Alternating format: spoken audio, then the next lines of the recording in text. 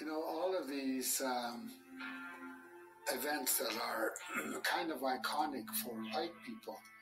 like the westward movement, manifest destiny, settling the West. When you look at it from the other side, from the from the Cheyenne side, and from the other Native American side, all of those just meant a lot of dying for us